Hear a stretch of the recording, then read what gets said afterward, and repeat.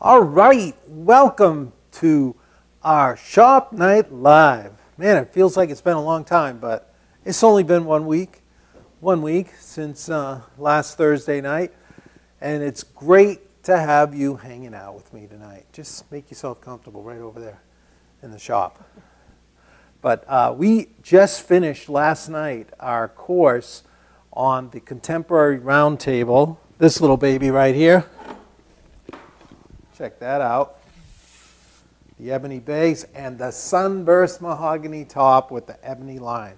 So it was a, it ended up being a little bit of a late night, but lots of fun. We ended up with more video and an extra session than we expected because there were a lot of alter, alternate tips and techniques in there. And if you feel like you missed out, you did not miss out. It's never too late around here to take a course because they are now in video format where you can just take part in it and you'll be able to go along at your leisure and get the full-size drawings if you're interested in that course. But if you did miss that and you really want to be part of the live course, you're in luck because we're about to start a new one a week from Saturday. We're starting the modern writing desk. And I'm excited for that one because I designed that desk. And it's, it was like the old days with the furniture masters of having some fun designing a contemporary piece of furniture. So I'm going to show you step by step how to design something, or well, how to make something, and the process I went through in thinking about it all along the way. And we will build this modern writing desk if you want to be a part of that. It's scheduled for seven sessions. We'll meet on Tuesday and Saturday Tuesday evenings and Saturday morning, Eastern Time. And then it may go an extra. I don't know. I'm hoping I can get it all done in seven sessions, but we'll see.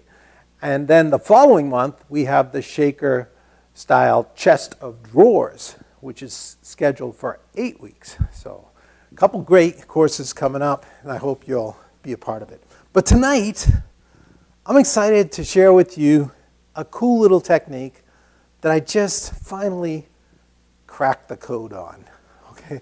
It was something I'd been thinking about for a while, and it is a method for making an octagonal piece like this on the table saw without any math. And just, I'm, I'm thinking it would make a nice trivet, like, you know, to support the hot, like a hot plate. Um, what else could we do with this? We could, it could be a coaster for your, your big mug, right? your really big mug. and uh, it could be a pedestal for a vase or a vase. The vase sounds much more important. And maybe that uh, fourth grade trophy you have, you could throw right on there. All good. Now, I didn't put any finish on this yet, but it's, uh, this is a piece of cherry. And it's an octagonal meeting that we've got, it's eight inches across, and it starts out as a square. And then we just clip off the corners at 45 degrees, and so that each one of these lengths is equal, or at least to the eye, right? And then I'll bevel these here. Now, I set out tonight, I was going to think about I already had it written up and everything. I was getting ready to have an evening about chamfers or chamfers. Who says chamfers? I, I, think that's more of a European thing. But um, chamfers, which is just a, a, cut corner or 45 degree um, bevel cut along a corner. And it, it can really be more than different than 45, but uh, it's used a lot. A chamfer is used a lot to create a really nice refinement and detail to a piece of furniture without a lot of effort. So if you think of a pencil post bed, that's essentially four corners chamfered on a long taper, right? And uh, how do you say it? I would say chamfer. Chamfer, okay. Yeah. That, then that's but what I'm we're not going. sophisticated. No, I, I don't know between the chamfer, between the vase and the vase. I think from Lowell we would say we chamfered the vase, right? That's about it. All right, but we're not in Lowell anymore. So anyway, there are so many aspects of furniture making where you do employ a chamfer to lighten, you can lighten the look of a square piece. Um, you've seen, if you've been around, we undercut bevel tops of tables to lighten up the appearance of the edge. We've make little chamfers on the tops of legs for craftsmen uh, chairs and things like that to make these little pyramids. And it's a fun little detail, and there's something about that faceted surface that's kind of intriguing or it, it's an eye catcher and it's enjoyable to look at. I mean, can't, you can't take your eyes off of this, can you? It's hard. It is a hard thing. Everyone's going to fight over this coaster, right? I mean, that is a large coaster, but hey, whatever. So, anyway, I was, I, I just decided not to talk about all kinds of chamfers and just talk about this one element of making a stop sign, basically, out of wood. So some of you may have seen, I did a video some, probably a couple years ago or more. Um, 2016. when? 2016. 20, wow, okay, that was a couple. Yeah, That was five was years ago. Yeah, that was back when I was, uh, I did this video on making an octagonal post out of, out of a square. And it was, be, it was due to this trick, some of you may have seen it, where I would lay the blade over on the table saw at 45 degrees, and then you, bring, you put your square post, lay it right against that blade, and then bring the fence up till it just touches the corner. Then you lock in your fence, then you can lay your piece down square on the table, and it'll clip all four corners and give you a perfect octagon. So I began to think, and if you don't know what I'm talking about, you'd like to see that. It's a very short edited video, and we have a link to it in the notes, correct? Correct, in the description below. She's, she's on top of everything. You won't believe it. The amount of work she does. Videotaping last night for two and a half hours until 10:30. I'm afraid you have the harder job, my friend. I, I don't know, but the um, so I'm going to show you a similar intuitive technique on the flat, on the horizontal, to turn a square piece. Now this isn't square yet, but I'm about to make it square. We're going to make this square, and then we're going to turn that square piece into an octagon with a nice technique at the table saw without any math. All right, so get ready. It's so exciting. All right, so and before we do this, I, I just want to point out that I already squared one corner, so we wouldn't have to mess with the crosscut sled. But you can see this is a rough end. And like so many pieces of wood, we've got these checks coming in here. Can you see that? See these little cracks? This is where the wood, when it dries, sometimes it dries too rapidly on the end grain. It's very common.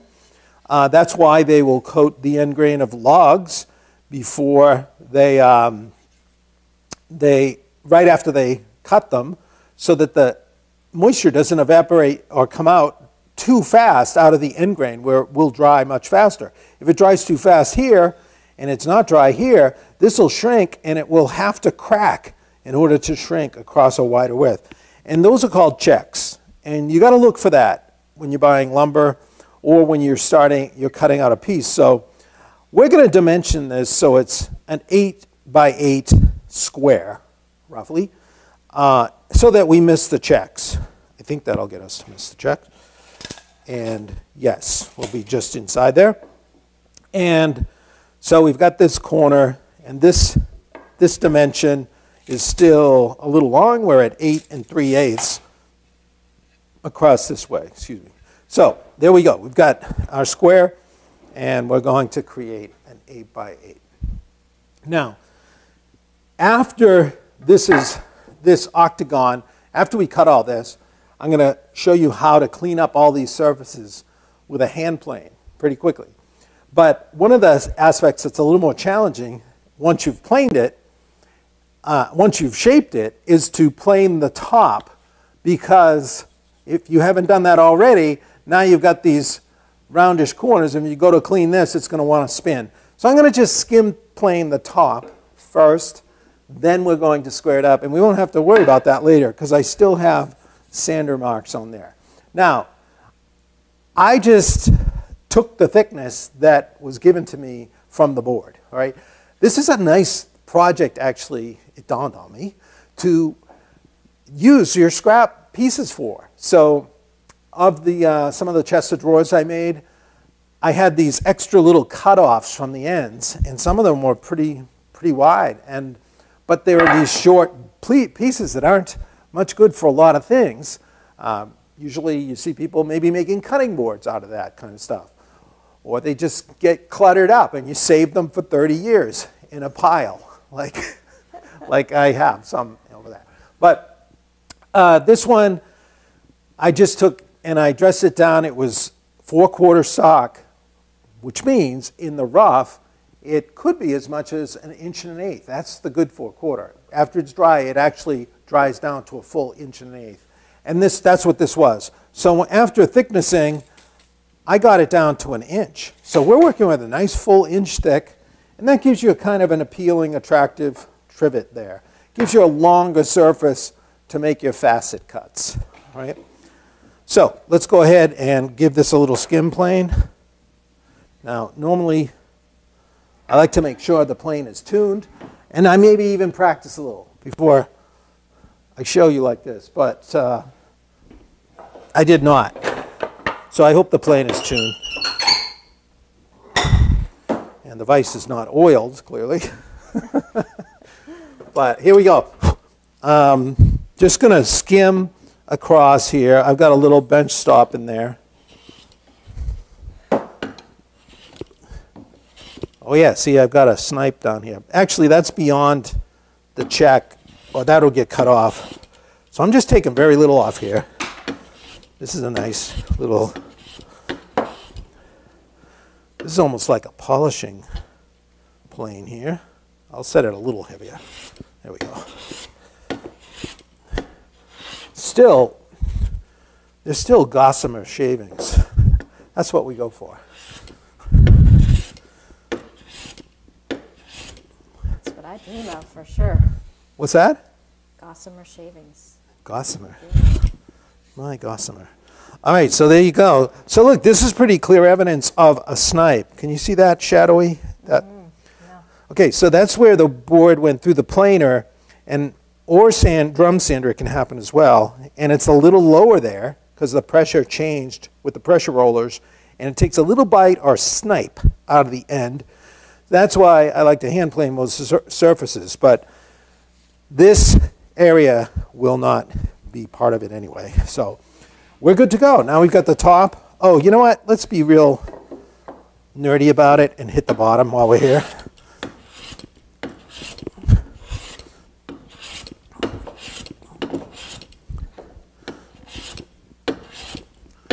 Not that anybody's going to care, but this way we'll have no machine marks on our finished product. Yeah, baby. That's looking good. All right. Okay, I can still see a light pencil mark. I was like, okay, which corner was square again? okay, it's this one here. I'll do that so we remember. All right, there we go. Okay, so let's head over to the table saw, and we will be into our octagon pursuit. What's all the round tables, round yeah. tabletops. Yeah, we had. Various. I still got one more to, that's in the bag, so we've got beautiful sunburst tabletops everywhere. But I got to get ready for the, the modern writing desk, so I think I'll save those for about 10 years or so before I finish them. Just kidding. So, anyway, um, sorry, my nose is really itchy. I got to just grab a tissue. You tend to that.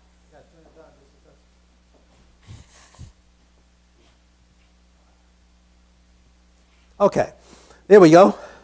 All right, so we're going to cut this into a square. I'm just going to move my fence over to eight. We'll go right to eight here.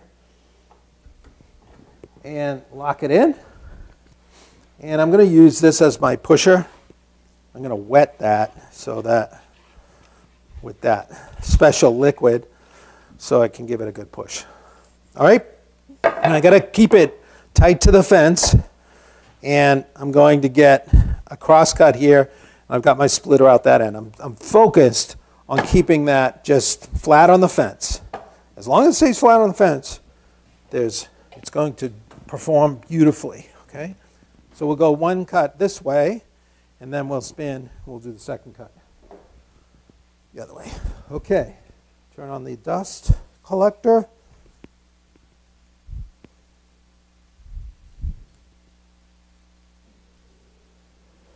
Here we go.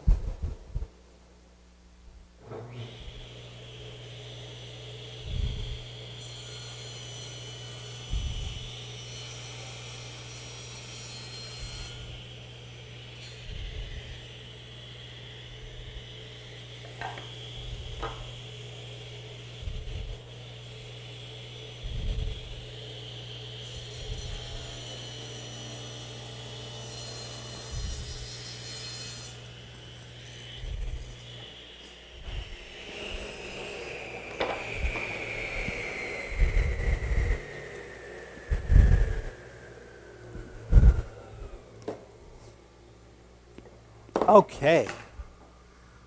That was the easy part. It's all easy, actually. So now we are going to, let's see. Yeah. I'll substitute this one, this plate. We're going to need later. I have to put in that wider plate so I can lay the blade over later. And we'll just go with that for now. But I'm going to bring up the crosscut sled as we go octagonally crazy here.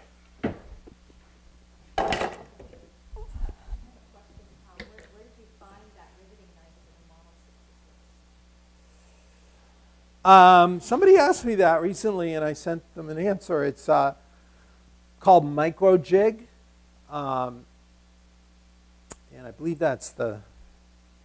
It's it's just it's nice. They send them, and you can plug them in there. Mine is uh, one of the original styles, and I went on their website just the other night and discovered that they now have other models. Mine is a hard plastic model, and the little pins that mount it in there can break off. And so they do have steel models now. So that'll be my next one. anyway. But yeah, check that out. It's good for the, the 66. All right. So here we go. We want to make this into this with a few simple table saw techniques. Okay? Piece of cake. Now, if you look at this, we've got the grain running like this. And one thing I meant to mention earlier, but I'll mention it now, um, is you want to decide which you want to be your top and bottom. Now you can see, I've talked a lot in the past about types of grain and which ones are more stable and tend to stay more flat. The quarter sawn grain is the most stable and stays quite flat. It's um, the more linear. When the growth rings, if you look right in here, these growth rings are coming at an angle to the surface. Those are considered rift sawn. If we kept going out on the log, eventually you get to a position on the log where the growth rings are perpendicular to the board. And that makes a very stable board. So it's going to stay very flat. And then in the middle here, the growth rings are running parallel with the, the board. And that's called plane sawn. It's in plane with the growth rings, or just dead tangent to the growth rings. That's where it's actually, the wood is expanding and contracting the most there, because it expands and contracts the most along the length of the growth growth rings. And also, it's the most unstable because if it, does, if it wasn't dried properly and it's not fully dry and you put it in a warm house, the board is going to shrink along those growth rings. So if you imagine this being not a nice kiln dried piece like it is, but if it was full of moisture and it shrank, it started to draw up, pulls along those growth rings. So the growth rings are in kind of a U shape here. And what would happen is, as those tighten up, almost like rubber bands, it would deform the surface of this. The bottom would, would turn into an arc like that. The top will be this way. Okay, you can almost tell every time you pick up a board if it's if it's cupped or like on one side, you're going to be able to see that it's cupped opposite the curvature of the growth rings because of the way they pull as it dries. Now this is not going to probably move at all because it's a nice um, kiln dried piece, but it might a little bit. So I'm, I always like to put it this way with the heart side up, the heart meaning the center of the tree facing up. Because if it does shrink a little bit and it does pull, it will actually pull so the edges go down to the table and it'll still be stable on there. If you put it the other way, it's going to pull the other way and it's going to want to rock a little bit. Okay? So keep your growth rings up. And I also like the heart side because you tend to get the richer color with cherry because you're more away from the sapwood. Right? Okay, so just confirm that's cherry. Yeah, this is cherry. They're both cherry. All right, so um, this is nice and square. That's going to be my face side. Now, I've already established four of my sides of my octagon. So I've got, this will be one flat. So if we put it right here like this, we've already got, whoops, oh, there's a little dent. That's kind of a bummer. Have to sweat that out. All right, so this is two, two sides, and then we've got our top and bottom facet too. So we basically want to cut these corners off at a 45 degree angle so that their length is exactly the same as what's remaining on our already straightened sides. So there, if you think about it, you could just make a center pivot point on here if we just found this dead center and set a pin in there or a dowel and we were able to set it on the pin and make our square cuts by taking it off the pin and resting it like against a straight fence here and then making a cross cut, we would get a nice square using it on the pin. Then we could spin it to and put a 45 degree fence here. It's still on that center axis, okay? So if you turned it, then you'd be dead on that center axis and you could make all the corner cuts to your heart's content, right? But that only works with, uh, that gives you one kind of size trivet. So you'll have to move your pin all the time, move your fence in and out and all that. It's more of a hassle. You have to think too much. I'm going to show you a way, the, my favorite way of working. You don't have to think a lot. Actually, I thought a lot about this. Um, but this is what I want to show you is the way we'll get that point. But I want you to think about that. If you can find a way for it to pivot on that center point and clip these corners, you'll have it. Okay, that's what led to this kind of method. So for this method, we're going to find the center of one of our long sides. And for that, I'm going to just use the square.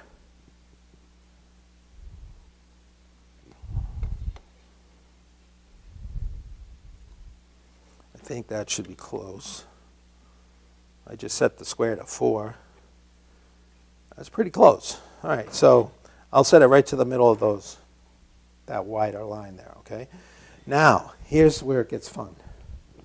Okay, so I'm going to bring this down, and that is my center point right there. So if I, that's like half my distance here. So if I was, if you think about it this way, if I was to make my my full square cut, like let's say I, I made one cut like that, and then I rotated my whole width of my pieces out over here. Okay, so that's my full width. If I could rotate on the center axis, it would be halfway between here and here, you know, uh, from my square, if you just think about your square. So that would actually be those lines we just put, okay? So if we came up here and we set it, again, just touching the saw blade and made a little mark here, this would be the center point of our, where we want to spin this piece. Now, we don't even need to mark that. I just wanted to show you that so it makes sense. Because when I first discovered this, I was like, why does this work? I had to stop and think about it. And anyway, so if we set the fence, just, just bring this up so that that tooth is cutting on the waste side or the half line. Okay, so it looks like right there. And I'm right, if you look, I'm right on the mark on this side, okay? So by setting it there, this is actually the center line that we want to rotate against, okay? So we've got our center point. Now, if we just now bring in a 45 degree angle, or we could, we could use, if you wanted to, we could use one of these 45 degree drafting triangles, and that could come up. And what I'm going to do is just roll it onto the, the bevel. Okay, but I'm going to use my fence because I want to lock this in. Just You can just make a 45 degree cut that you can trust, maybe with a chop saw or another auxiliary sled on your table saw, whatever. So look, I'm just holding it right in that position so that blade is cutting right on the center with the full, the full half on this side. can you hear that? I guess you can. All right, I'll wait till it stops. Okay, so now I'm going to slide the 45 right up to it, and I'm going to lock it in. Okay, we're going to screw that right down to the table. I don't want to move on us.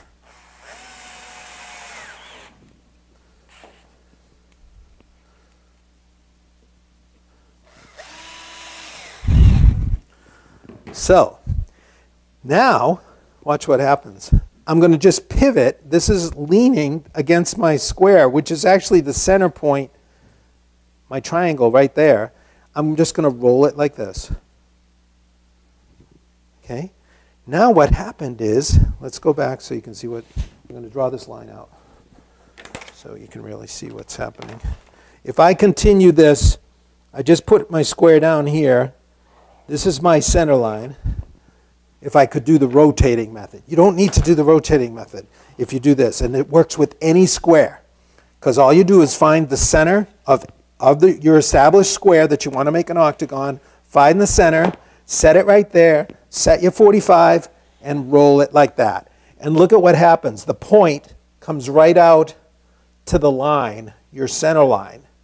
So what's what we were in position now for is that center axis is right here in the middle. So if I can just hold this piece right here with a stop there, I can clip the corner. And if I just rotate like this, just resting that down there every time, I will have clipped the corners and every one of these facets will be the same length. No formulas, no pivot point, no nothing. Just a 45 degree wedge. And we're also going to use, to make this cut, we're going to be a little safer here. We've got to have, we have to have a support wedge over here because after we cut them, uh, let's see, when you get to the last one, you have no more point down here to reference from. You've sawn it off. So you got to have a flat right here. So what we're going to do is just bring this up as our flat support Let me see here. Huh, that's interesting. There's going to be a run on octagonal trivets in the world. These are like, these, man, this, if you could bang these out, it'd be awesome. Just make a bunch of squares, and then I like to pin nail this to the table. These come out easily, as you've already seen. And you don't want to do it like right where you're going to cut. That little gun is like our SNL mascot. I'll do an extra. There we go. Okay, so now we're there, and that'll get cut off with our first cut. And then we'll get, it also is going to back up our cut a little. But I want to, once I've cut that, I want to hold this like a little more, I feel a little unsure how to hold this with your hand because it's, it's awkward. So I'm going to throw in another toggle clamp. Come to love these little toggle clamps.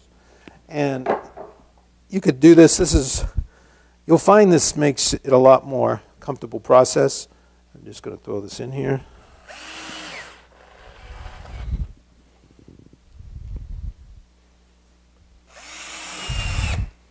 Hopefully this is set with the right pressure. But it'll help to for it not to move. Now, once you've if you got a bunch of squares made, you could just set this up and you're good to go. It's great because you can rotate it no problem. If you do the center pin thing, it's a hassle because you got to lift it up and move it and get your fences all changed. This is nothing. All right, so it's a little weak because I planed it. I had it set right. Let me just adjust that a touch.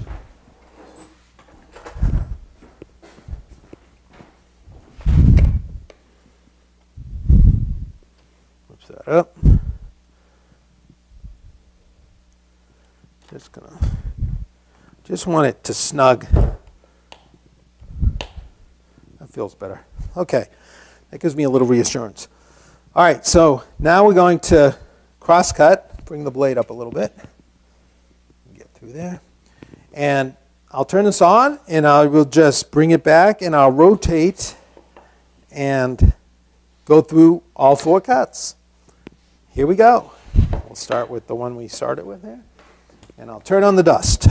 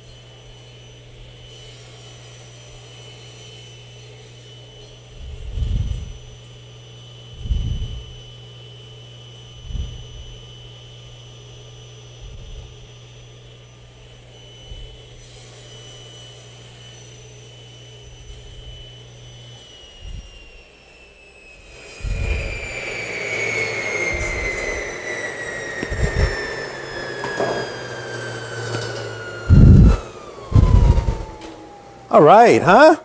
How about that? Now let's just measure. It should be pretty darn close. Measure this one.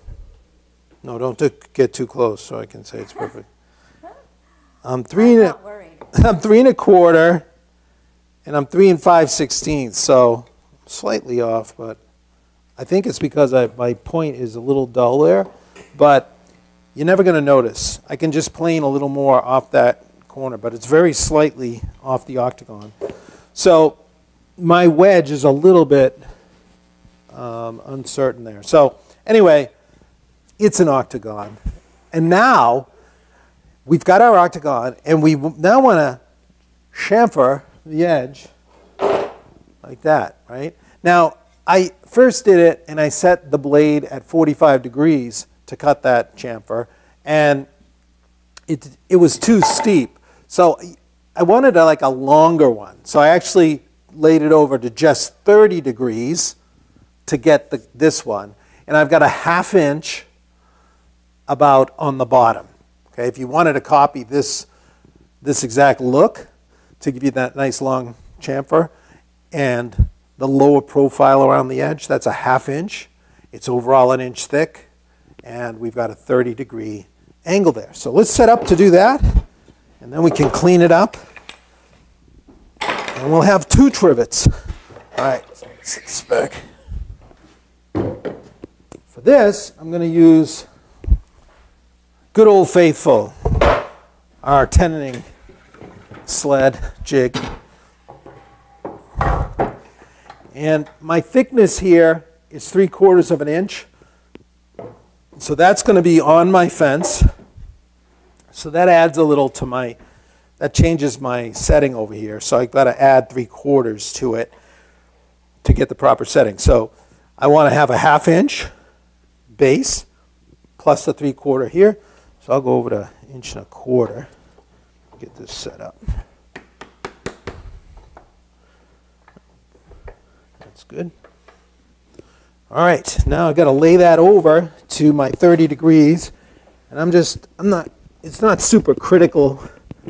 It's perfect. So I'm going to put it where I had, um, where my mark is for 30, right there. Okay, there we go. And now, I'm going to make sure I do the top I wanted to. Here's my heart side, so that's going to be up. And I'm going to bring it in like this. Now, i got to lower that blade. It looks scary up there, doesn't it? Want to be scared. Okay, and because it's octagonal, every time it bumps against my little backer, I've got a flat surface on the, on the table and a flat surface against my fence here. But I don't want to just hold this with my fingers. I'm going to use a couple quick grip clamps. So I'll get it against there, to a quick grip there, and a quick grip there. Now it's a thing of beauty. All right, so I'm going to turn on the saw, go through this process, and we'll have our beveled edges, just like that. Here we go.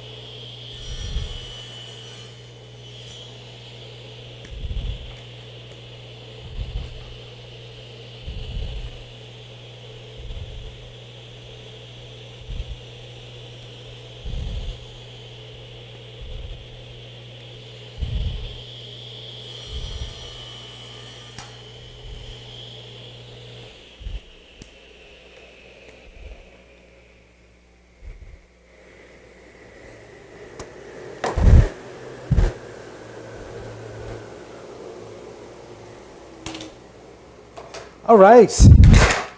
Easy as pie, huh? Look at that. It looks pretty sweet. I'm going to head back to the bench and I'm going to clean this up.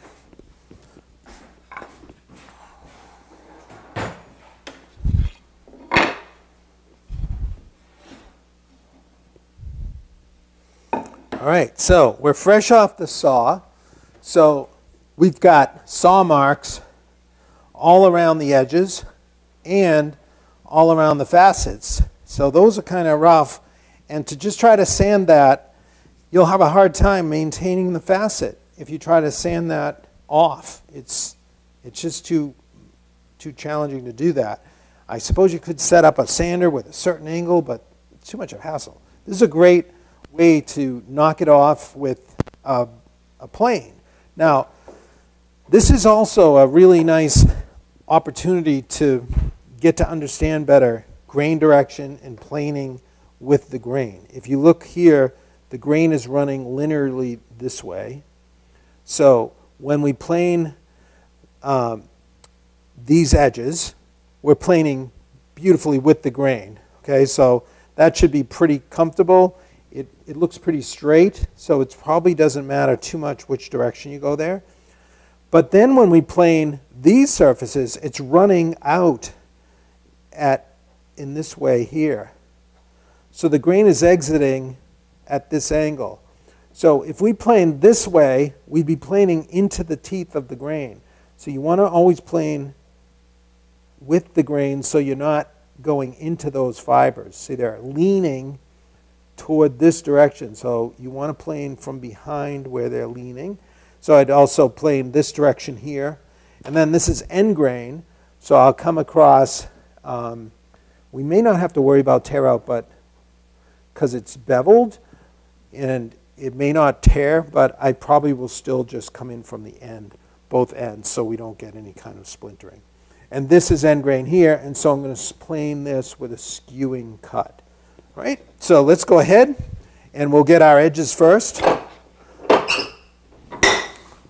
I got my, my little low Lie-Nielsen. Somebody might ask about this. This is uh, the 60 and one half Lie-Nielsen block plane. Really sweet plane.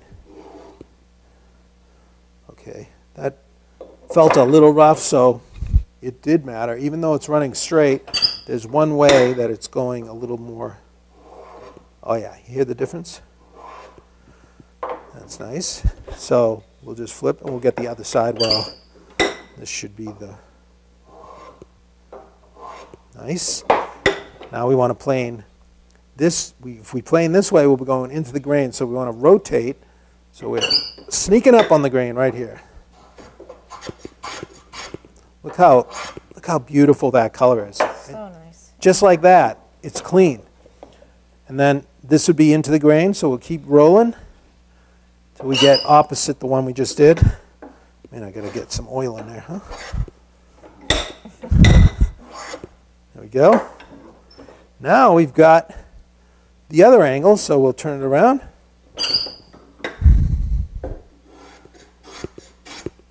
That's it, three strokes, good to go. Whoop. There we are. Perfect. That gives you a really sweet, crisp facet. Now the end grain on both sides. Here.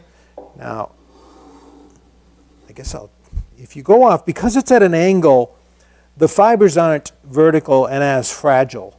So you can probably plane right off the end. I'm going to shear and skew it.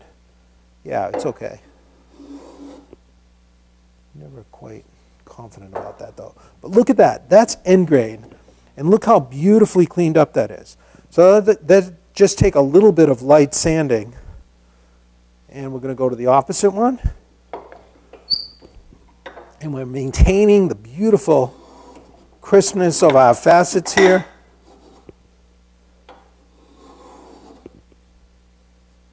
Man, that's good. Pleasure. I did just tune up that blade. That's end grain right there. And it's just coming off like nothing. All right, so now we want to hit the, the, bevels, and we will have a completely hand planed trivet. So I'm going to bring up uh, the little hold fast here. And let's knock that in. This is going to be a little loud. So we can, we want to plane with the grain here. So I'm going to hold it at a little angle. See the saw marks there? Three passes and it's glass. Actually, two passes, but yeah, that's glassy too. All right, so let's hit the end grain now. I'm going to skew it, so I'm kind of planing a little bit downhill. Even though it's end grain, it is just like butter. Beautiful. All right, so let's hit this. Well, let me try this edge.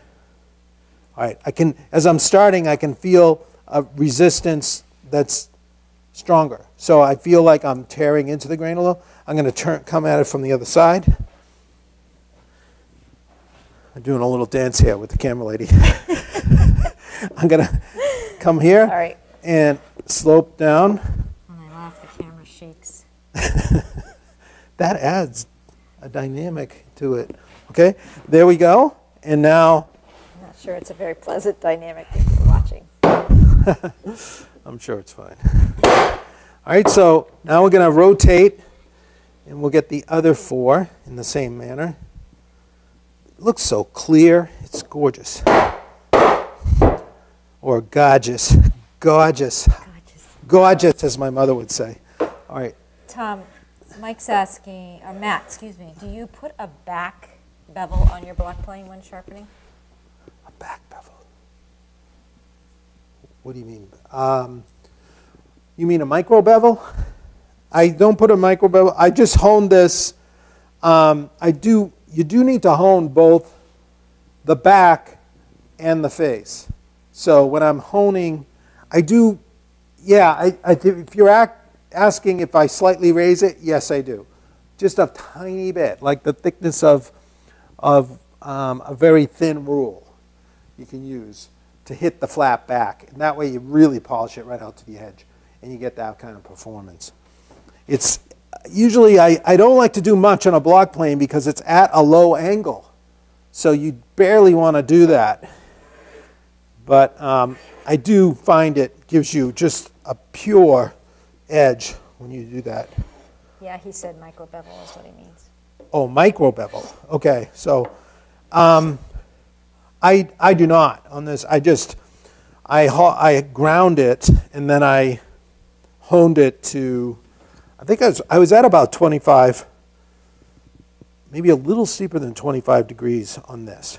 So you've got the combination of the bed angle, which is 12 and a half, plus let's say I was at 30 even, but I think I'm between 25 and 30 then you're adding, you're bringing that up. If it was 30, you'd be at 42 and a half relative angle of the blade. And, but I'm between 40 and 45, I guess you'd say. All right, here we go. Right across. Oh man, this, there's something really pleasant about that. So we've turned this, we have turned this ordinary chunk of cherry into a sparkling jewel. Those edges are so pure and really sharp right now. We don't want to leave them that way, okay? But isn't that sweet? Mm-hmm. The way it catches light in the room, everyone will be like, Where did you get that trivet? Like, hey, it's just knocked out about Everyone. 12 of them. Everyone, yeah. or actually, when it's in the museum, people are going to say, that's really something special. All right, so then we will just very lightly sand it. We've got a little time here. Um, whoops. I almost would want to hit this with 320 because it's so nice, but I feel a little rippling from that first planing on the top. So I'm going to just lightly, this is lightly card scrape. I'm just taking the slight ripples that you can't see them, but there was a little bit of a line raised there on my first plane. Now I'm going to just get my stop up here, and that'll make it easier. So just bump it right against the stop, and this is beat down 220 because I don't have any 320 at the moment. But here we go. Just gonna. Oh yeah, that's silky. Okay, then we can just touch these facets.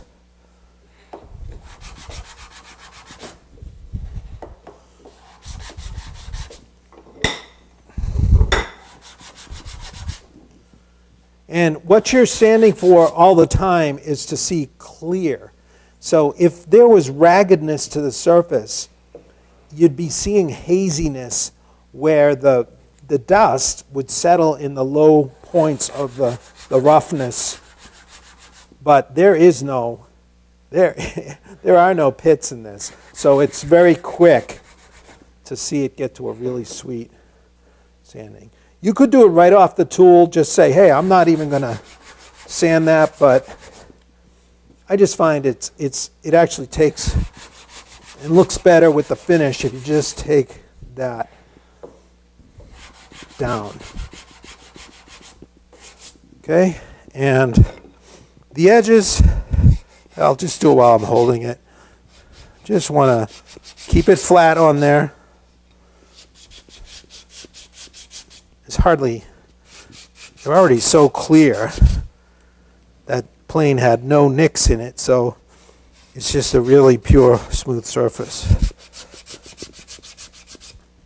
Now we're into the end grain. It feels like a polished gem.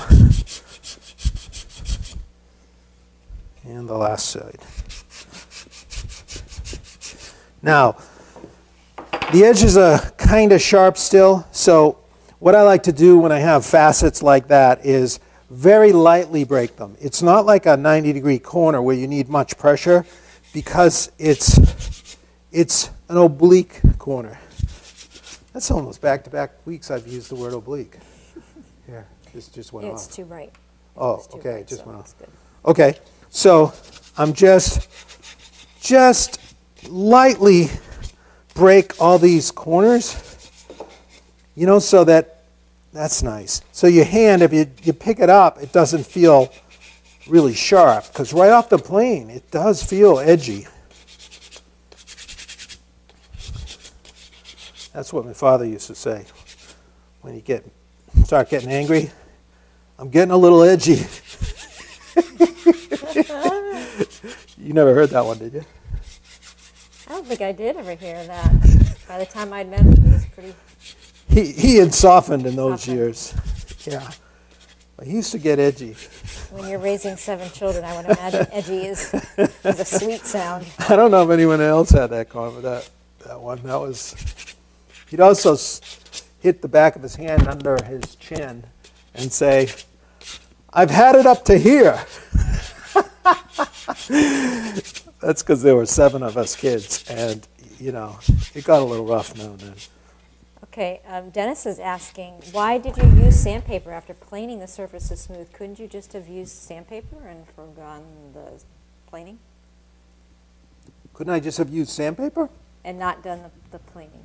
Oh, who was that? Dennis. Yeah, that's a great question. Um, the planing is ma- I was able to maintain the beauty and crispness of my surfaces by planing. It, it has achieved that, and the other great thing it achieves is, did you see the speed? How fast I removed all of the the um, table saw marks? If you tried to sand those off, especially on end grain, you'd be there a long time and you'd be rounding over these surfaces. Okay, so the plane gives you speed, accuracy, and it saves you tremendous time sanding. I'm barely sanding. I'm bare, I've got like 220. I could have actually had 320 in my hand here. If I had it, I would. And now I'm just very lightly giving it that final detail so it's nice to the hand. I'm just going to go around the bottom just a little so that when you pick it up, it doesn't feel sharp on that bottom edge. And I think this trivet should probably have some kind of little feet under it, like you get those little round cork feet, maybe four of them on there, and it would sit on the table beautifully. All right, so hey, we got a, we got a few minutes. I'm going to splash some Danish oil on there, and we will have taken this from start to finish. Literally. I'm just going to put, don't get I- mad I anybody. I don't have a glove. My mom used to do decoupage, this is years ago. And some of the things that she would do, the, uh, the, the wooden, I don't know what the word is, backing that she would use looked like these kinds of shapes. Oh, yeah, yeah, it was faceted when she would pre-buy them. Yeah, Did she ever say I had it up to here? I had it up to here? No, I don't remember my mom ever saying I had it up to here. I'm getting a little edgy. No? No, Okay, so I know I don't have gloves on. she had other ways of expressing it. I'm not going to get any on my fingers. Don't anybody worry. All mothers do. All right, so look at this cherry. As that starts to soak in there. Oh, that's a thing of beauty. Look at that beautiful color. Mm. That Danish oil will soak in nicely.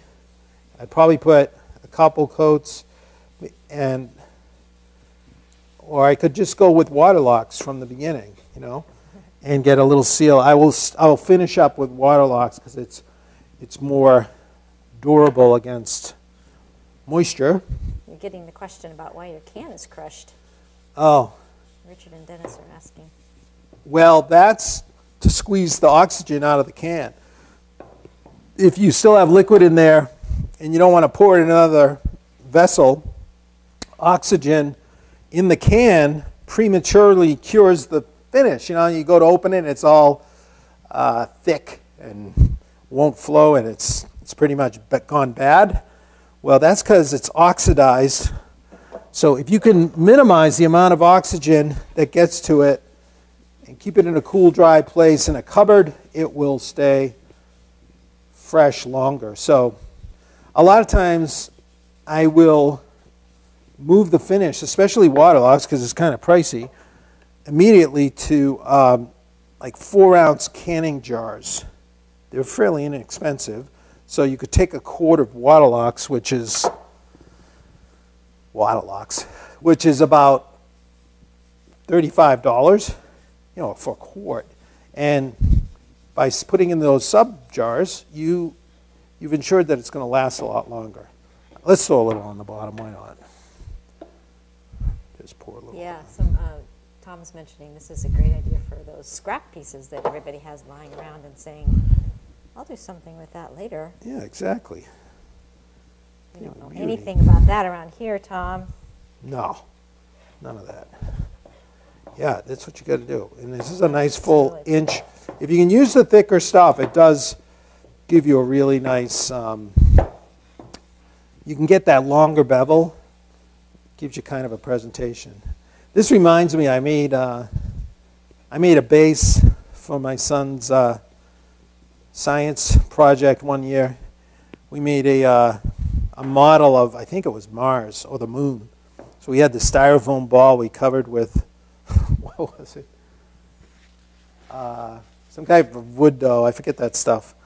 But then we made little craters on it and whatever, and put it on a stick, painted it black or gray, and then I built a base like that. It was a little tall, a little smaller, and put the stick, and that that was awesome. It looked like a custom-made globe, and it, I just knocked it out just like this. But I actually didn't have that method of the triangle like I just showed you, because that's that's a new one. All right, so I'll let that soak in for a little while, and then I'll come back and wipe off the excess and let that cure, and I'll put it on another coat tomorrow.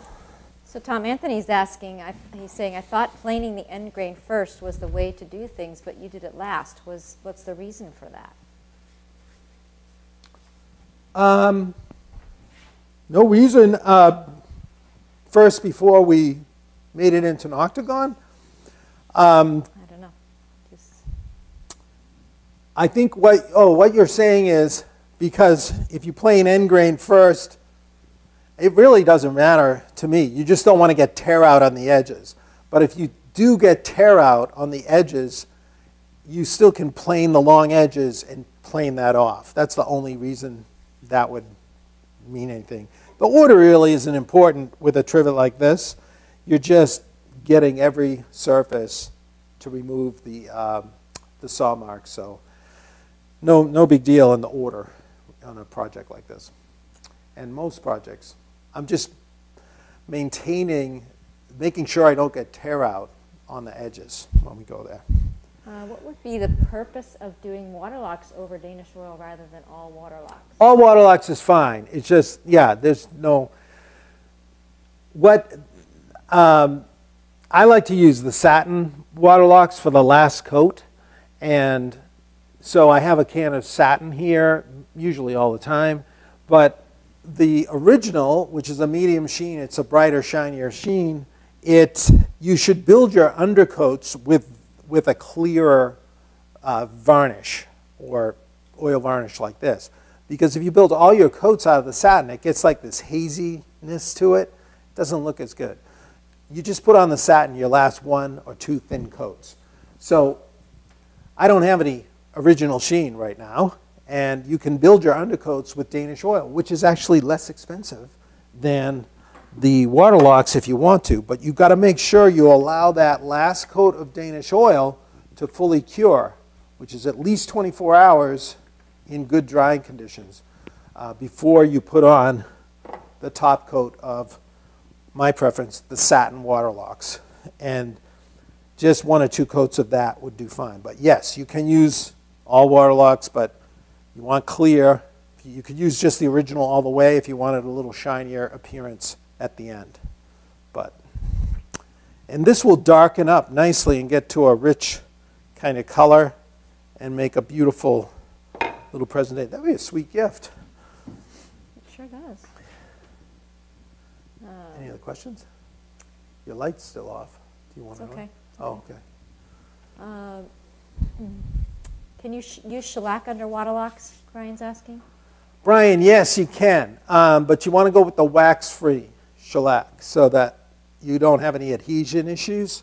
So um, you can buy the seal coat, which is the premix by Zinsser, or you can buy your own flakes and mix your own. You'll know it's good and fresh. And I usually get that stuff from um, Wood Finishing Enterprises.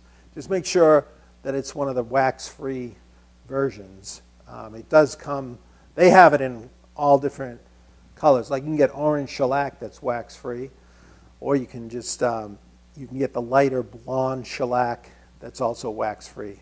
Really nice stuff. Dean's asking, if you change the angle of the wedge, could you get different number of sides? Dean, man, it's never enough. Just kidding. Just kidding. Uh, Stretching, yeah. yes, Dean, uh, that absolutely. Uh, I haven't even thought. That's bending my mind a little bit there. But um, I think you would go. You'd go from an octagon like this, and then you could do. You could. You could work on a 16 edge with another wedge. But you know what? That's bending my mind a little right now. So yeah, you'd have to have another second wedge in here but it'd be 22 and a half, I believe. You need a 22 and a half degree wedge down there. So you'd then cut all those corners a little bit. So yeah, you could do it. So you'd go right from 8 to 16. But if you wanted odd numbers and stuff, man, now you're, you'd have to divide that number of sides um, by the number of sides goes into 360 to figure out your angle. Good question. Yeah, you can make more. There's your assignment, Dean. Dean, that's your homework. Craig's asking, uh, he's saying seal coat is getting tough to find. Do you know why, or does Oh, is anybody it? know why? I'm not sure. Uh, it could be because of there was a shortage in alcohol, like that kind of. Everybody was using it for disinfecting, you know, for the virus. Uh, alcohol was in a lot of those sprays to kill germs on contact. So I think that a lot of companies were making that, and they might have switched over to that for a little while. But um, but you know the amount you use of it, if you just wanted some fresh stuff around, get the flakes. It's a little more money, but it performs really nicely because it's so fresh. When you, when you mix it yourself, you're good to go. Did you mention stop loss bit bags, or is that someone in here who mentioned that? Uh, someone might have That's a mentioned. conversation going on here. Yeah. Do you get, have, use those, Tom, and where would you get them? I've used, I don't, I don't have any of those, and um, I've used them in the past, but um, I just don't like the bags because it, they end up, if someone likes them, use them. I- It didn't work for me because the bags end up getting dried out material in them eventually, and they were difficult to reuse if you wanted. If you want to reuse the glass, it's pretty easy. Once it's done, you can just take some thinner and clean it out and use it again. So you're not throwing away those bags. And those bags aren't, they're, they're really good because they're, most of them are squeezable, so you can squeeze the bag until there's no oxygen in it. So that works pretty nice, actually. But it's all kind of what you prefer. What you like? Yeah. Okay, I think that's the last of the questions. All right. Well, I hope you had a good time tonight. I sure did. Just making some simple trivets. And it's as you saw how fast that went, you could knock out a whole bunch of these easily on a Saturday, have them finished by lunchtime. Well, maybe maybe a little later.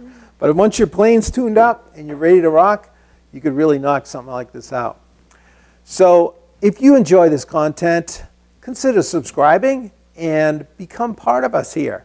If you really want to get closer to what we're doing, go to the website at epicwoodworking.com. You can see all the courses we have available there that take you through projects really in an in-depth experience. And you can see the new courses I mentioned at the beginning tonight that we have coming up next month. The Modern Writing Desk. I can't wait for that one. And then the Shaker Chest of Drawers the next month. And if you missed it and you want to get in on that contemporary roundtable, we've got the recorded version now available for you. And each one of those will, is available with full-size drawings. The modern writing desk drawings are, are being drawn now. So those are not quite yet available yet, but will be out very soon. So thank you so much for hanging out with us one more evening here in, in the shop in Canterbury, New Hampshire. On behalf of the camera lady and myself, we've been pleased to have you as our guests. Yes, yes, yes.